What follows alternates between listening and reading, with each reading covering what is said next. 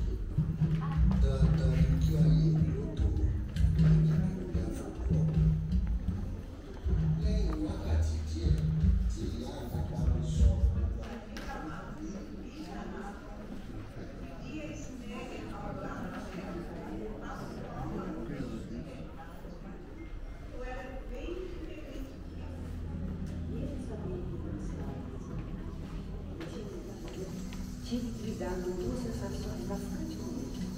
Mas não pertencia a lugar algum. Nem, nem,